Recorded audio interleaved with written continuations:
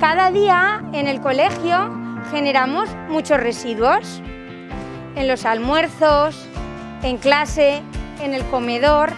Y ahora tenemos en el colegio unas islas de reciclaje. Es un cubo donde se tiran los residuos y después van al cubo, al cubo marrón y después al compostador. Genial, ¿lo echamos ahora entonces?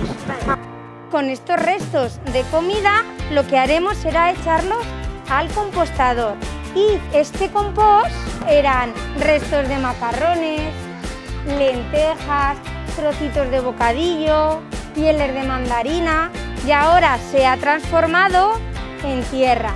Antes eran los restos de comida. ¿Vosotros sabíais que esto podía pasar?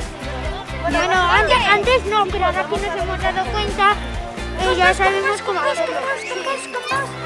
¿Y os gusta hacer esto en el colegio? Sí, Lo que vamos a hacer es utilizarla para plantar una planta.